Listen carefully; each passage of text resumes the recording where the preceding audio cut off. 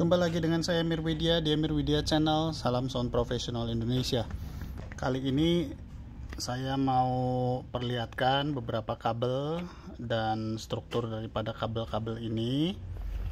Uh, sekaligus saya mau cerita sedikit. Nah ini ini ada Tasker 1026 tapi ini yang seri Serolos.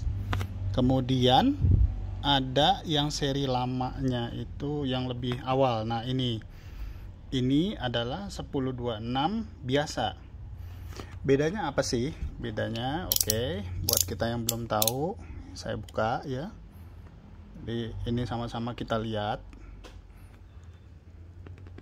Nah, ini seperti ini. Ini 1026 biasa. Kemudian ini yang serolos. Saya saya buka.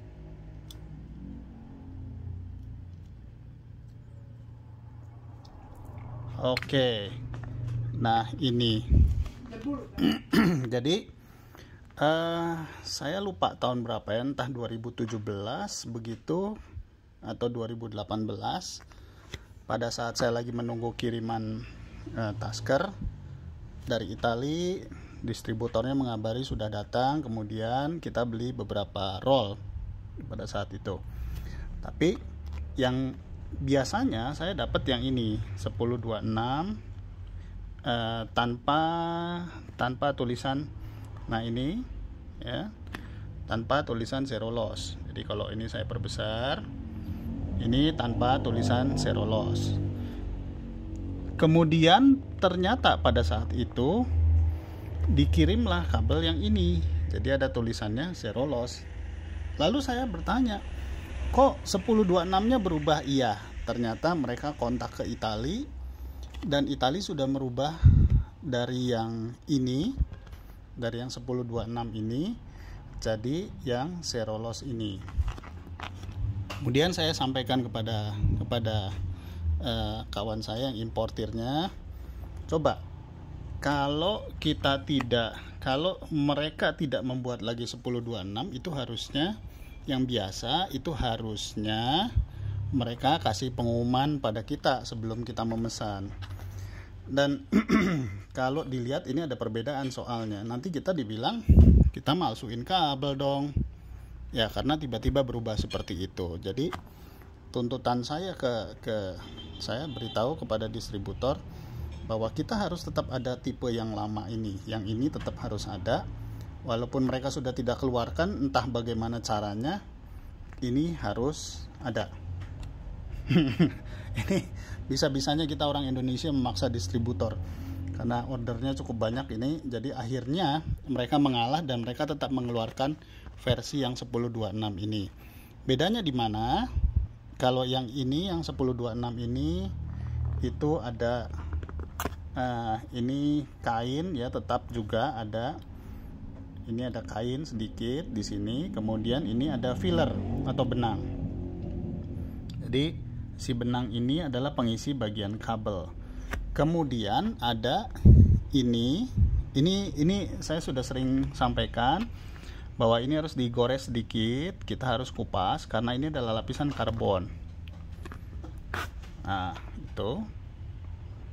Ya ini adalah lapisan karbon ya, yang ini maaf ini adalah lapisan karbonnya ini harus dikupas. Karena kalau tidak nanti dia waktu pada saat disolder ini akan jadi konsleting. Ya karena ini karbonnya nanti menyentuh sama bagian yang tersolder di ujung ini. Jadi perbedaan yang menyolok adalah pada serolos karbonnya itu tidak pada kabel. Ya kalau ini ini saya belah. Kita sama-sama perhatikan bagian kabel penghubungnya seperti itu dan karbonnya justru ada di sini. Ini ini pinter sekali Itali. Dan dan suaranya yang ini yang serolos bagi saya lebih bersih. Yang ini agak lebih tebal. Tinggal sebetulnya kita mau pergunakan di mana dan apa untuk apa. Kalau ini suara sapnya lebih ceduk yang ini suara sapnya lebih bulat. Jadi dengan dia mengurangi sedikit ini ini kalau dilihat nanti di spesifikasi ini berkurang sedikit. Kalau kalau bahan sih saya rasa sama ya mereka tidak tidak ganti-ganti bahan. Tapi ini kita bisa coba di antara di antara kedua ini mana yang lebih cocok untuk kita saat ini. Ya kalau kalau eh, pemirsa nanti juga coba saja ketahanan di lapangan bagaimana ya. Kabel itu kita buat begini kita pelintir begini dan kita coba rasakan apa di bagian dalamnya ada yang melintir atau tidak. Ya kekuatan kabel ada di situ. Kalau kita mau pakai di lapangan. Baik pemirsa saya kira cukup demikian. Dan oh ya sebentar. Saya lupa.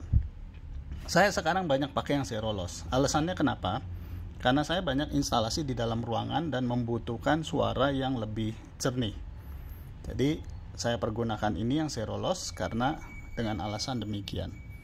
Baik, pemirsa, terima kasih. Sampai jumpa kembali. Salam sound profesional Indonesia.